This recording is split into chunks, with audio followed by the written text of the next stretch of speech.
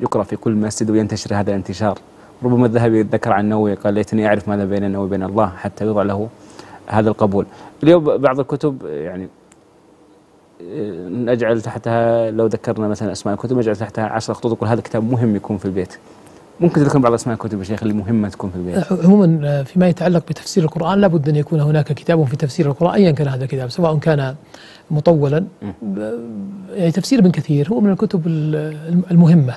والقراءة فيه ميسرة لماذا؟ لأنه ربما يتجاوز الإنسان الأسانيد يتجاوز الأقوال ويقرأ يعني ما رأى أنه خلاصة أو خلاصة تفاسير تفسير ابن كثير في كتاب المبارك فوري صفي الرحمن. المنير مصباح المنير هذا ممتاز جدا أن يكون في البيت أو مثلا وهو من أجود الكتب التي يجب أن تكون. أنا أقول يجب ولا أقول يستحب. نعم. يجب أن تكون موجودة في البيوت. تفسير الميسر اللي طبع نعم. المجمع مايك فهد. هذا الحقيقة فتح من يعني استطاعوا أن أن يأتوا بزبدة وخلاصة ما ذكر المفسرون القدامى كابن جرير إلى المتأخرين كالسعدي رحمه الله. ثم روجع وخرج بشكل جيد وأصبح المعنى الإجمالي موجودا موجودا في في الآية.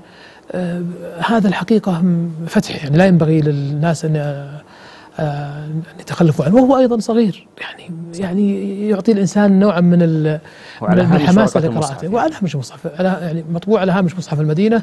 واهتموا كثيرا بأن لا تزيد الأحرف كثيرا عن الأحرف الموجودة في الآية ولا يكرروا العبارات الموجودة في الآية.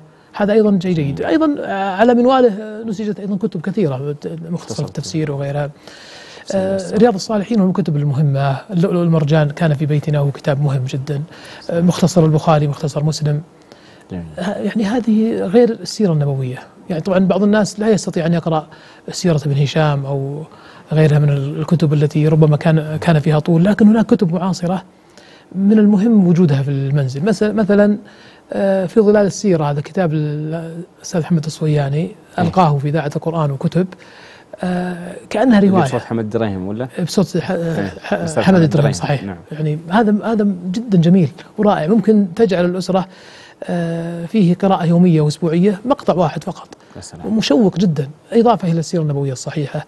آه بالنسبة للسيرة من هي من الكتب التي ينبغي الأسرة أن تجعل أن أن تحشد في بيتها ما استطاعت منه، لأنه لا يغني كتاب عن كتاب في الغالب، وهذا ترى في عموم الكتب في عموم الفنون لا لن تجد كتابا يغنيك عن كل الكتب. بل أحيانا حتى المختصر من الأصل يكون في المختصر زيادة أو إشارة لا تكون في الأصل. لكن ميزة السيرة أن الإنسان ربما يمل اذا إذا كرر الكتاب.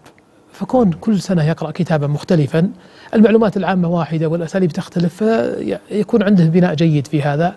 وربط أنفسنا وربط أولادنا بسيرة النبي عليه الصلاة والسلام. من المؤسف أن أولادنا ربما لا يعرفون آه، أزواج النبي عليه الصلاة والسلام وأبنائه وبناته وأعمامه وأخوته من الرضاعة. هذه يعني هذا أعظم شخص أمرنا بالاتساء به ومحبته. بينما نجد أنفسنا نعرف عن بعض الأشخاص أشياء كثيرة جدا، بعض الناس ترى يعرف الشخص البارز في مجال معين، مجال رياضي أو فني أو علمي، يعرف متى ولد ومتى تزوج ومن أولاده وماذا يحب وماذا يأكل. هذا الجفاء يعني مع عدم معرفة بيت النبي عليه الصلاة والسلام هو أمر مؤسف يعني. العجيب شيخنا أنه ممكن الواحد يدرك جوانب كثيرة من سيرة النبي عليه الصلاة والسلام بقراءة كتاب واحد سواء كتاب ذكرتهم ولا الفصول في سيرة الرسول ابن كثير ولا الرحيق المختوم. وهذا يجعلني أسألك سؤال ثاني شيخ إبراهيم. ألا ترى أن الكتب